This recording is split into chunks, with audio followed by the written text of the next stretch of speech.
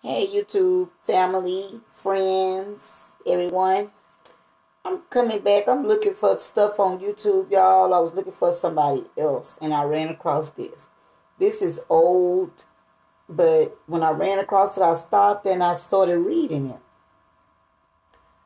And I was just like, oh no, I've never, I've never seen this, never heard about the young man or nothing, y'all. So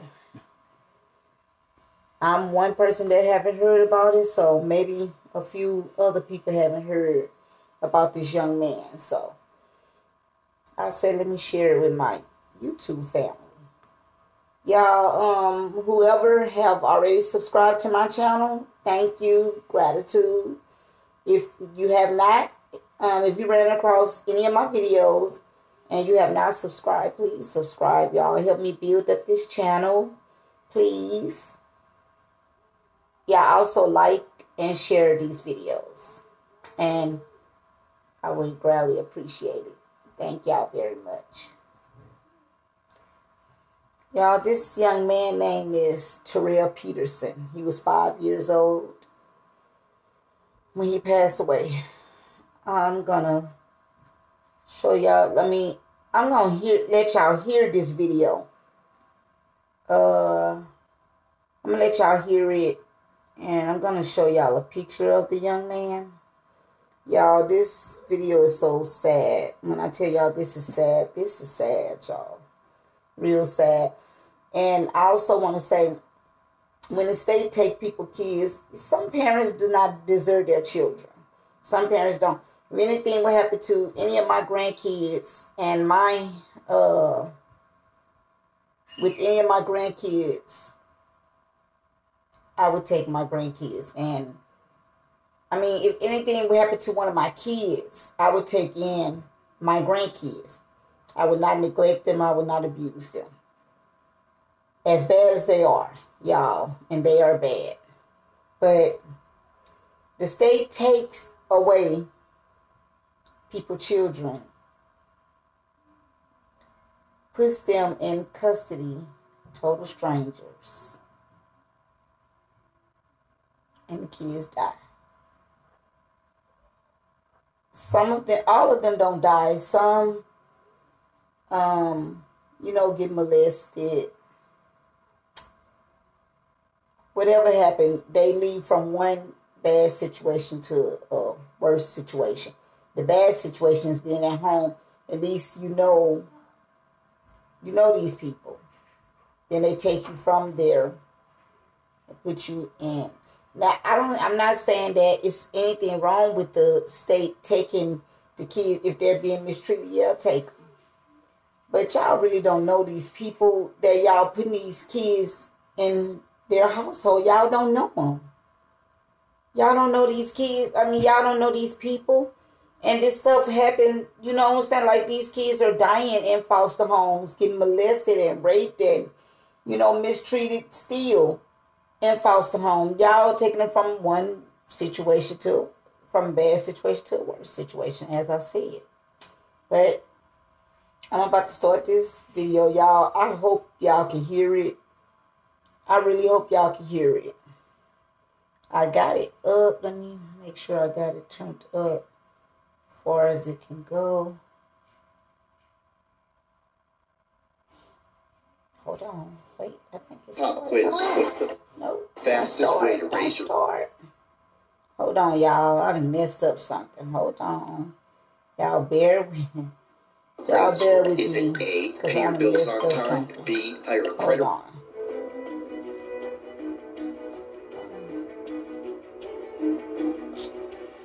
Oh my god. Y'all hold on. Let me go back. Good Hold evening. Oh, on, y'all. Okay, here we go. Here we go, y'all. don't even have pictures of him, just one. Okay. So she said they don't have a picture that just made reminded me. Let me show y'all the picture that I pulled up of him. This the y'all they say this the only picture that this boy had when he's five years old. My babies, my kids have pictures from months old till the age they is now, but this the Wonder Can y'all see it? Let's see. Ah, okay. This is him. The only picture that they've ever taken of this baby. And then, and the parents them didn't even take this picture, y'all. The uh, the they the emergency room people at the hospital. The hospital took that picture of him. I hope y'all was able to see it. But that's the only picture that baby has, y'all. The only picture, and it's so sad.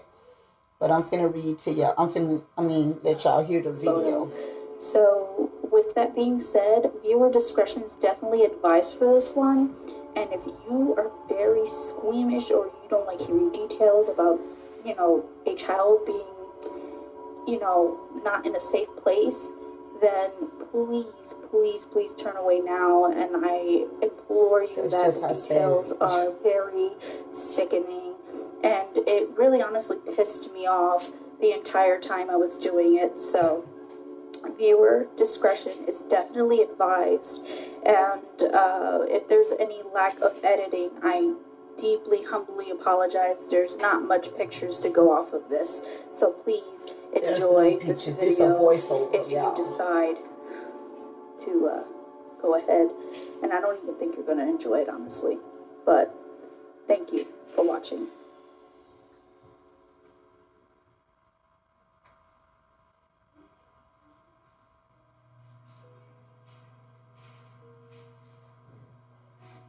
Terrell Peterson was born on March 1st, 1992, in Atlanta, Georgia.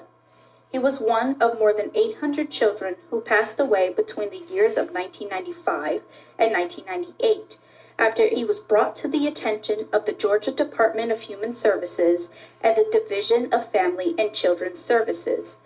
Some of those children died due to accidents and illness, but not Terrell. Terrell was born with cocaine in his blood by a mother who was addicted to crack cocaine. He was neglected by his biological mother, who used welfare for herself, including to get crack, locking him in his bedroom without food or water, and leaving Terrell and his two siblings, Tommy, who was six, and Tasha, who was 11, with their This your baby severely ill grandmother, who could not physically take care of them. Seven reports were made by concerned neighbors who would be getting knocks at their doors by Terrell and his siblings searching for food. Those reports were handled by 11 different caseworkers and overseen by at least 10 supervisors at the Georgia Department of Children and Family Services. After those complaints and a span of three years, they convinced his mother to give him and his siblings up. He was sent with his siblings to their grandmother named Farina Peterson and her daughter, Terry Lynn Peterson, who lived with her alongside her boyfriend, Calvin Pittman. The issue with this was even though Farina and Terry were related to Terrell's siblings, they were only his half siblings, which meant that Farina and Terry were not blood related to baby Terrell. And according to the DCFS protocol, when a child is taken, they were to be taken to a blood relative.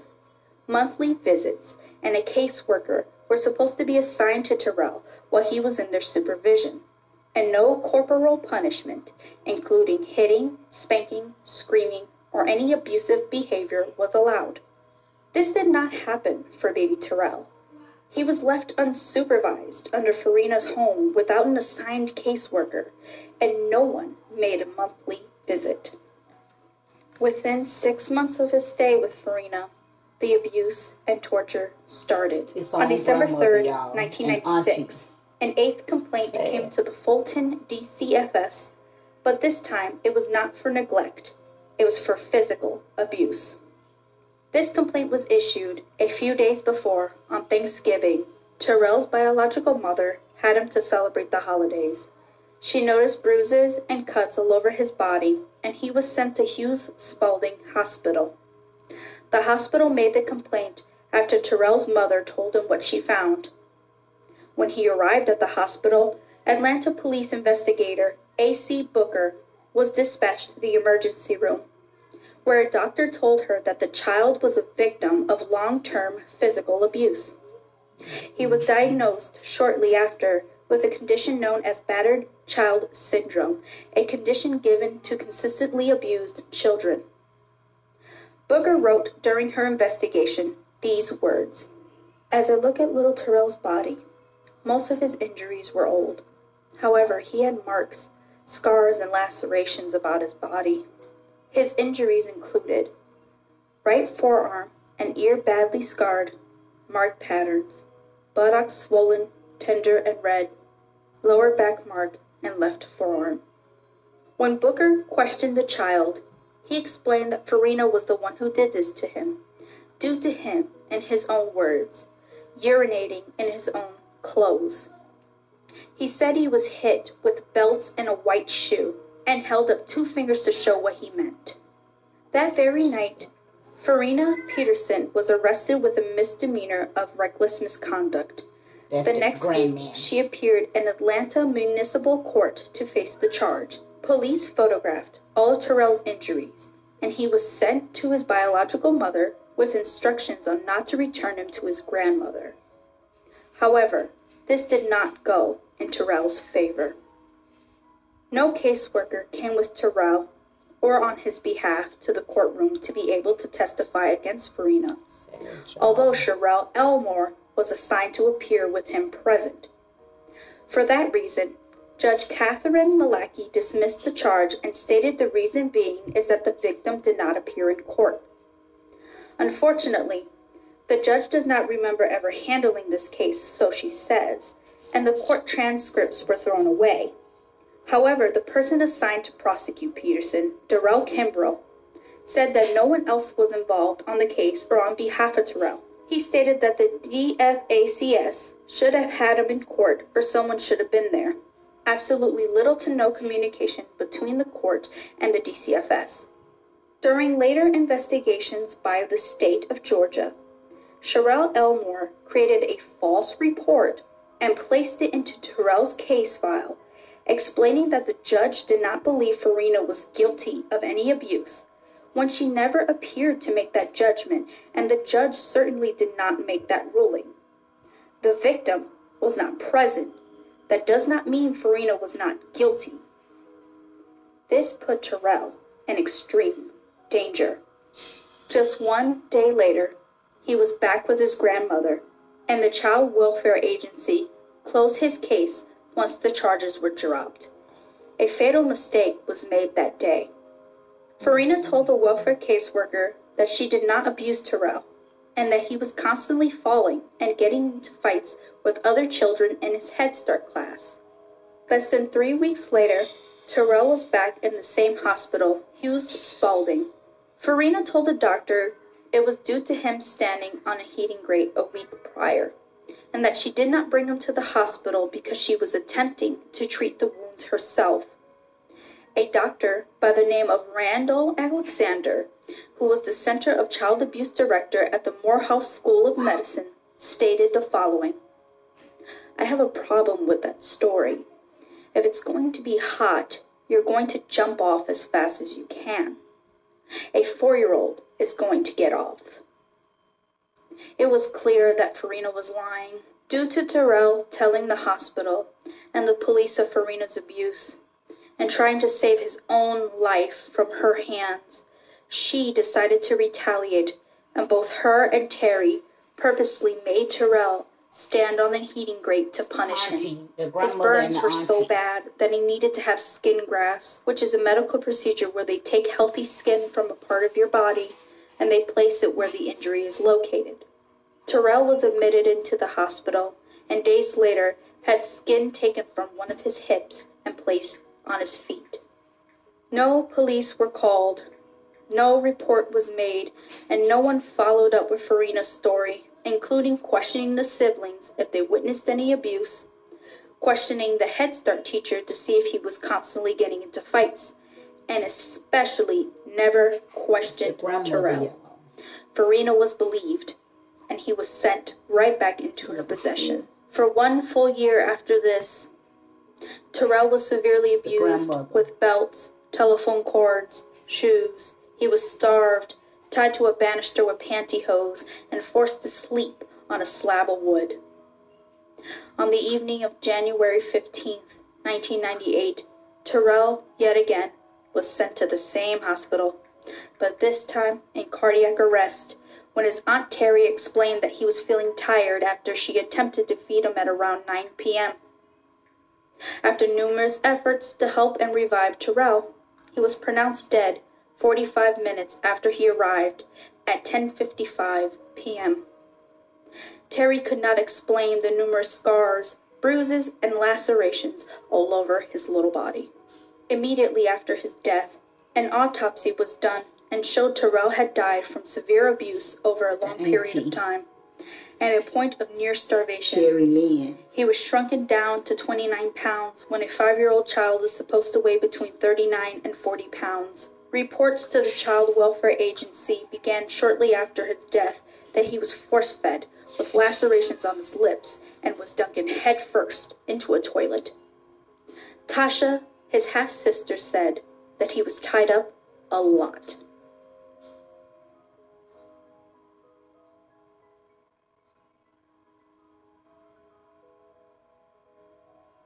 Farina Peterson, Terry Lynn Peterson, and her boyfriend Calvin Pittman were charged with the murder of Terrell, and each were given the sentence of life in prison.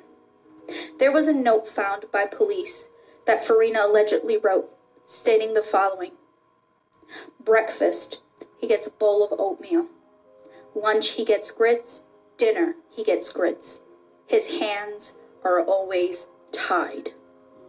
However, the story does not stop here. Numerous chances the state of Georgia were given to save him from the environment that he was in. Georgia DFCS did two internal investigations into Terrell's case and reported that Fulton County failed to make contact with Peterson, failed to conduct the monthly visits needed, an extreme lapse in judgment. They concluded there were numerous violations throughout his entire five year history. Ralph Mitchell, the administrator of the Atlanta area office, claimed that he was they need to outraged at the loss of Precious' life. He further continued to claim that the department followed all protocols needed. Now let's take it back here.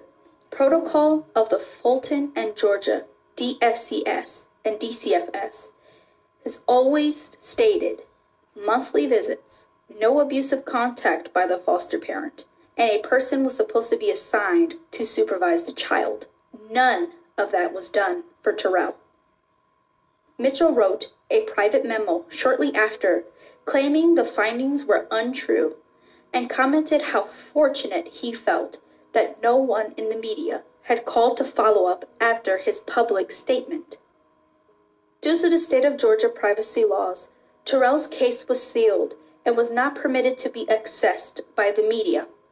For one full year after his death, no one knew exactly what happened.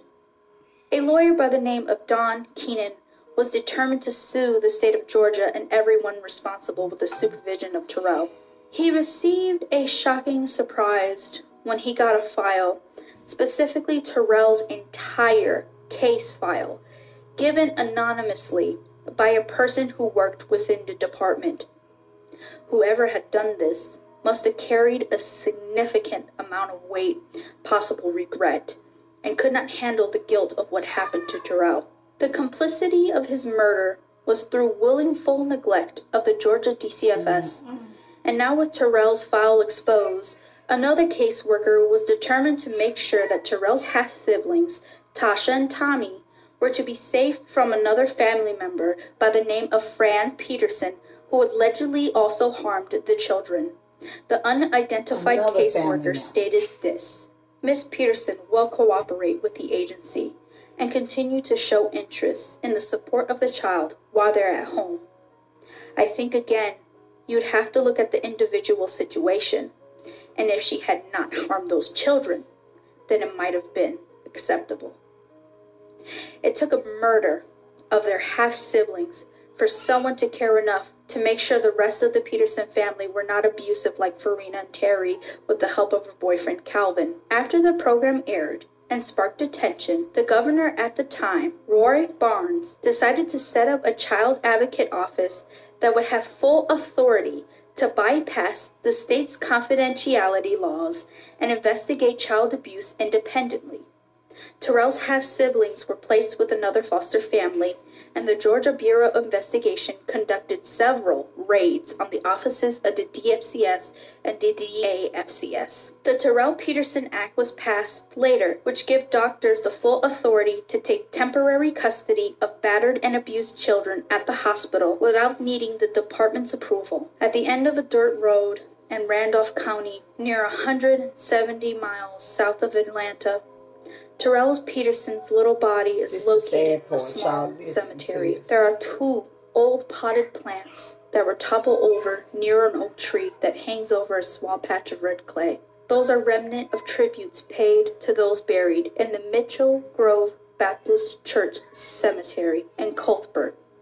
Susie Crowell, who is a member of the church, said Terrell had no mourners and no visitors to his grave, stating his they just dug a hole and buried him. His tombstone was paid for by his attorneys. Terrell's case is a very devastating failure, and both his family and the people who were supposed to help him to live a better life and abuse free. May Terrell Peterson rest, Rest in in heavenly baby. peace. Okay, y'all, that's that's the end of that video, but y'all, that's so sad. Um, this baby at five years old, he passed away when he was five. Passed away when he was five years old. This baby never had a chance in life. Never. He was abused from the time he formed inside his mom's womb because she was doing drugs the whole time she was pregnant with him. And when he came out, still was being abused, wasn't getting treated right for his whole five years. He wasn't raised as like a normal five year old would be raised. So uh this that's just sad all the way around for that baby. And y'all, I've never seen people it's comments in here. It's comments. I was reading some of the comments that the people were saying about this case and about this baby, and it's sad that people really wish dealt up on somebody, but not dealt in a tragic way. They was just saying that they glad that this baby passed away because of the life that he was going through physically, mentally, physically and mentally what he was going through and emotionally what he was going through. And they just saying that they they glad that um glad that he passed away. I'm gonna see if i can reach out some of the comments that people were saying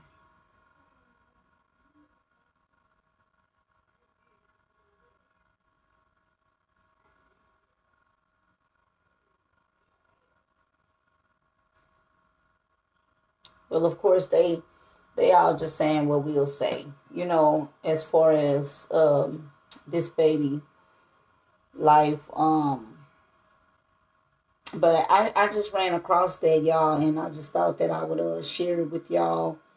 It's so sad, Lord. This is sad for this baby. The baby didn't have a mama, a daddy, a grandmother, a auntie, evidently not even an uncle, didn't have cousins, didn't have nobody. The whole family mistreated those kids. That mama had three kids. Yeah, the mama had three kids. And two of them two of them was given to another family member. And one and this baby was given to the grandmother and the auntie. The, the auntie and her boyfriend was living with the grandmother and her other two kids was living with an aunt, another aunt. And I had I I guess I didn't I missed that part that the aunt was even abusing those two. The other aunt was ab- abusing the other two babies and I didn't even know that, but it's so sad. But that mom, that that mother, she should have got her life together. She got her life together and gotten all three of her kids back. that's that's so sad. Yeah, my grandkids is in there right now. My daughter's kids. They they in there. I was fussing at one earlier on another video I made earlier. But the other um Araya the um y'all my bad that's my granddaughter phone ringing get your phone somebody call me um yeah so they uh this baby never had a chance in life. And his sister and brother ended up getting moved to another um to another foster home. And the mom she should be feeling it too. Uh, she should be feeling she should be feeling something i don't know but her life is not gonna be all well it's, it's not anyways all um all peaches and cream but anyway she should be ashamed of herself. But anyway y'all I just ran across that and i just thought i'd share it with y'all. I know i never seen it and maybe someone who's watching right now has never seen it but it's so sad. And thank god this baby is in heaven with god. Thank god for that. But uh yeah y'all. So i'm gonna continue looking for what i was looking for when i ran across this. And i'll be back you guys with another video. Y'all like share and subscribe. Thank y'all for the ones who have already subscribed to my channel. And I'd appreciate the ones that will subscribe. So y'all subscribe, share, and like the video. And I'll be back with another video. Thank y'all. Bye.